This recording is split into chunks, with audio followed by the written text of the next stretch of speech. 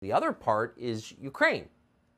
We are pushing, in fact, engaging in a hot war with Russia at this moment, which has upended energy prices around the world and is getting worse. The U.S. Congress has somehow earmarked more than $90 billion to Ukraine just this year.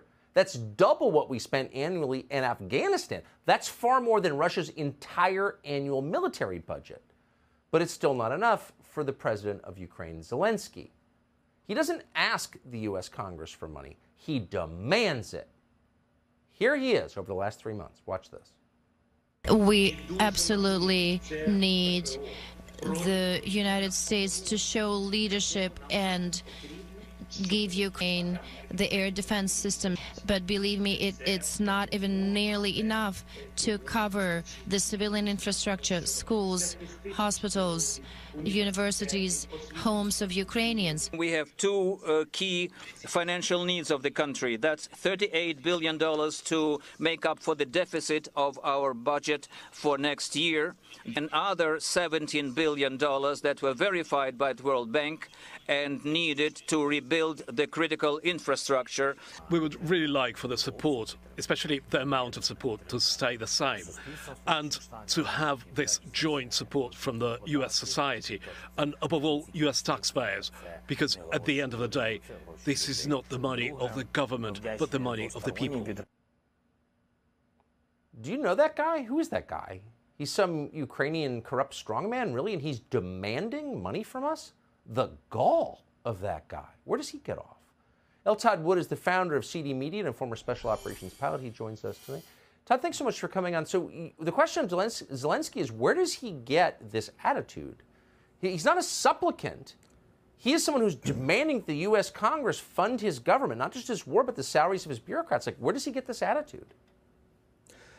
Look, uh, Zelensky used, was brought to power by an, an oligarch named Ihor Kolomoisky, which he recently went after and targeted for persecution in Ukraine. So that tells me something that uh, Zelensky now has a, a, bigger and more important and more powerful and more rich benefactor, and that being the Biden administration, the World Economic Forum, and, and the cabal that's uh, pushing all this agenda on the United States. So Zelensky is not working for the people of Ukraine. They're suffering massively.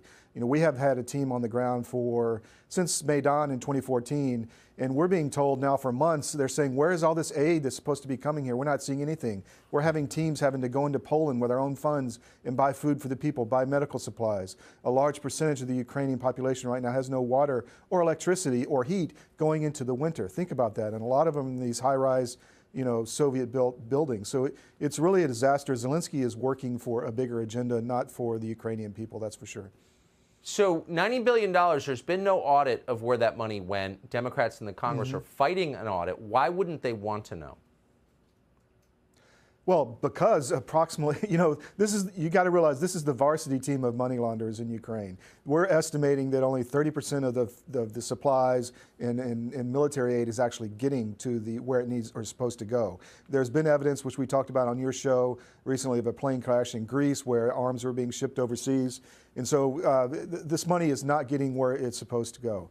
The, uh, a lot of this money is going to offshore. You know, we're talking about homes. Uh, you know, there's credible reports that a lot of these uh, Ukrainian officials have, have, bought uh, property offshore. They don't want peace. They want the money train to continue for the you know defense contractors in the U.S.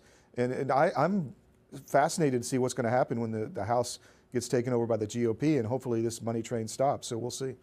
I hope so. And then you see decent, reasonable, conservative people, nice people like Joni Ernst, backing this. I mean, a lot of Republicans need to wake yeah. up and understand they've been had in a, in a very profound way. L. Wood, I appreciate well, you coming on tonight.